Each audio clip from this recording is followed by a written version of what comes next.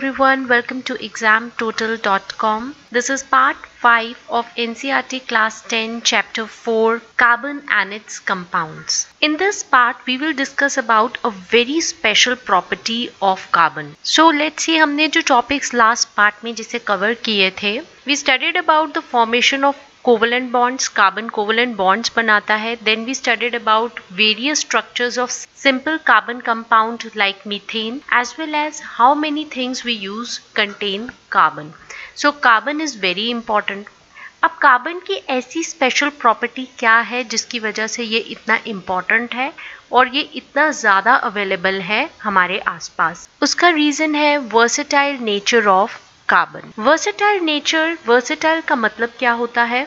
सबसे पहले तो हम इस टॉपिक का ही अगर मतलब समझे वर्सेटाइल मीन्स चेंजेबल परिवर्तनशील। और you can say able to adapt or be adapted to many different forms or functions or do various types of activities तो एक कार्बन एलिमेंट है, जो बहुत सारे टाइप्स के कंपाउंड्स बना सकता है। It is found in many different chemical compounds and ये हमें कैसे पता लगता है? बिकॉज़ जो नंबर ऑफ़ कार्बन कंपाउंड्स अगर हम देखें, जो केमिस्ट ने अभी तक डिस्कवर किए हैं एंड जिनके फॉर्मूला केमिस्ट को पता है was recently estimated to be about three millions they are three million so you can see that carbon कितने सारे केमिकल कंपाउंड्स बनाता है। एंड ये जो नंबर है, ये by large margin this outnumbers by a large margin the compounds form by all the other elements put together तो मतलब एक अकेला कार्बन आप लो एक साइड पे और दूसरी साइड पे बाकी सभी एलिमेंट्स लो जो कंपाउंड्स बनाते हैं तो कार्बन जो है उसके नंबर ऑफ़ कंपाउंड्स ये थ्री मिलियंस बहुत ज़्यादा हैं। सो so, ये प्रॉपर्टी कहाँ से आती है? ये स्पेशल प्रॉपर्टी के कार्बन इतने कंपाउंड्स बनाता है, यही हम इस पार्ट में पार्ट फाइव में डिस्कस करेंगे। And why is it that this property is seen in carbon and no other elements इतने ज़्यादा कंपाउंड्स बनाने की प्रॉपर्टी एंड उसका एक सिंपल सा अगर हम रीजन लें that is the nature of the covalent bond जिसकी वजह से कार्बन इतने सारे लार्ज नंबर ऑफ़ कंपाउंड्स बनाता है। तो so, ये टाइप का कोवलेंट बॉन्ड जो नेचर है ये दूसरे एलिमेंट्स में क्यों नहीं है? This special type of covalent bond ये दो फैक्टर्स पे डिपेंड करता है। टू फैक्टर्स जो नोटिस किए गए हैं केस ऑफ़ कार्बन में वही हमें इस पार्ट में डिस्कस करना है। And the first factor which we are going to discuss a very important term वो है कैटिनेशन ये प्रॉपर्टी क्या है?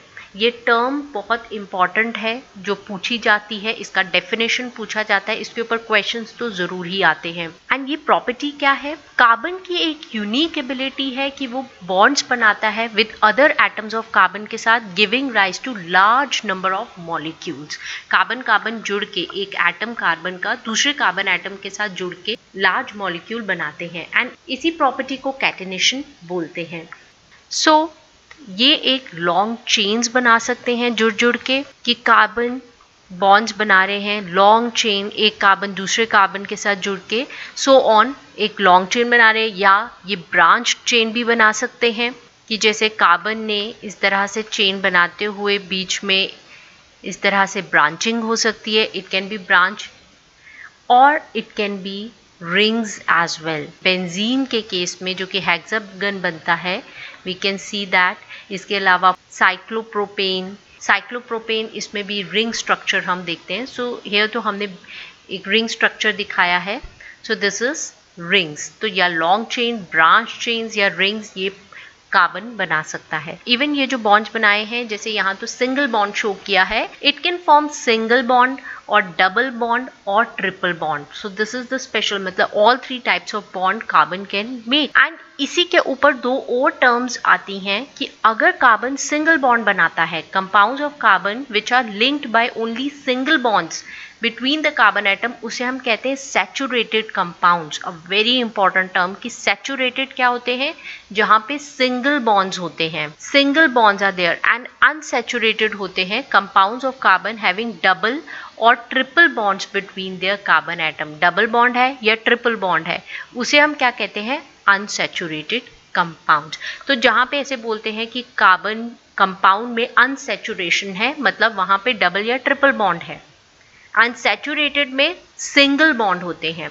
Very important S for saturated and S for single you can learn it like this तो saturated में single होते हैं and unsaturated में डबल या ट्रिपल बॉन्ड्स प्रेजेंट होते हैं कार्बन कार्बन के बीच में. सो so, ये तो हमने एक फैक्टर देखा कि कैटिनेशन की वजह से unique ability of carbon to form bonds with other atoms of carbon and giving rise to large molecule ये जो property है catenation की जिसकी वजह से it can also form long branch branched rings and ये जो bonds जो होते हैं single double या triple होते हैं ये एक property है जिसकी वजह से carbon का versatile nature होता है second property है वैलेंसी ऑफ़ फोर कैसे स्पेशल हो गया सिंस कार्बन जो है इसकी वैलेंसी फोर है जिसकी वजह से it is capable of bonding with four other atoms of carbon और atoms of some other monovalent element तो हम देखते हैं कि इस तरह से कंपाउंड्स जो है, ये ऑक्सीजन के साथ कार्बन कंबाइन करता है ऑक्सीजन के साथ भी करता है हाइड्रोजन के साथ भी करता है नाइट्रोजन के साथ सल्फ़र एंड क्लोरीन के साथ भी करता है।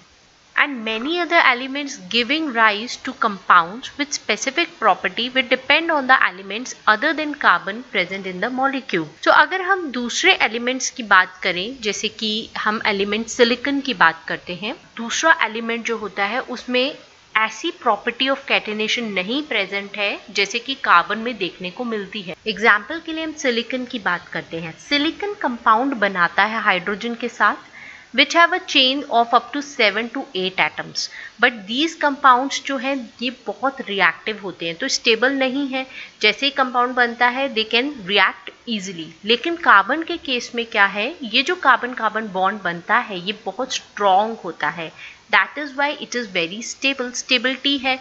तो ऐसे कंपाउंड एग्जिस्ट करते हैं। सिलिकन के केस में वो बहुत रिएक्टिव है। रिएक्ट करके कुछ और बना लेते हैं। Carbon carbon bonds they are very stable and this give rise to large number of compounds with many carbon atoms linked together. So second factor जो है basically it is the stability of carbon carbon bond.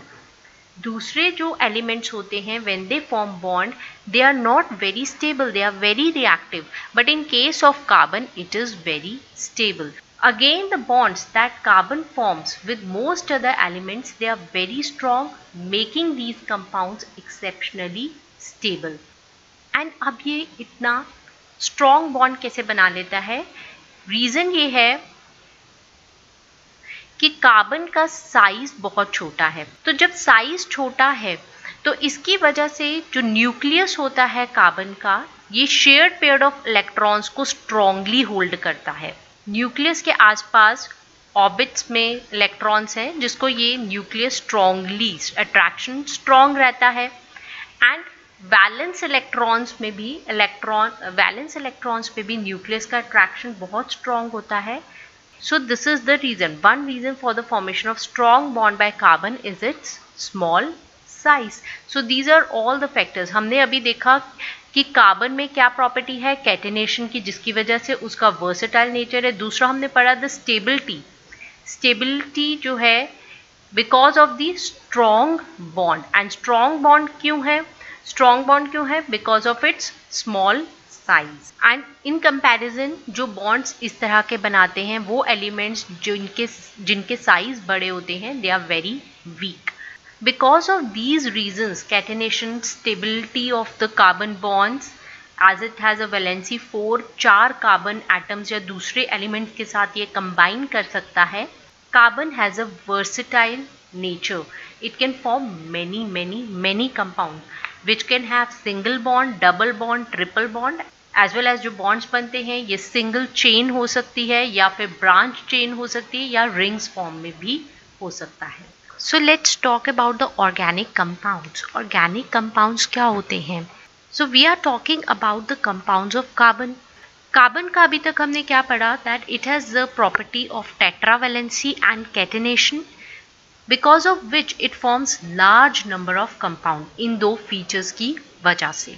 And अगर हम history में देखें, जो history of are researches में देखें, so पहले देखा गया कि नॉन कार्बन एटम भी अटैच्ड होते हैं और group of atom which are attach to carbon chains के साथ। एंड ये जो कंपाउंड्स होते हैं, ये इनिशियली एक्सट्रैक्ट होते थे from the natural substances only and ये सोचा जाता था कि कार्बन कंपाउंड्स या फिर ऑर्गेनिक कंपाउंड्स कार्बन कंपाउंड्स को हम ऑर्गेनिक कंपाउंड्स कहते हैं, ये सिर्फ़ लिविंग सिस्टम में ही मिलते हैं।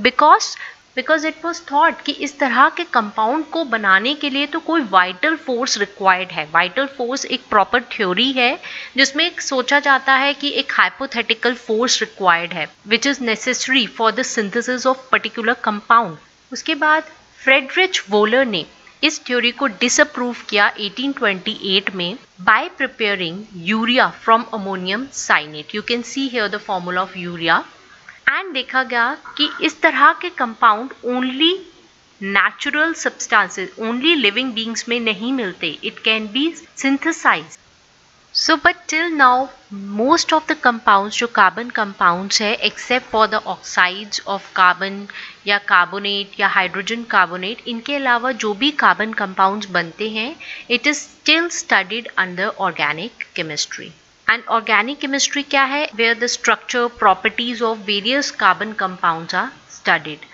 So in organic chemistry compounds of carbons they are studied. That's all for this part. Thank you very much.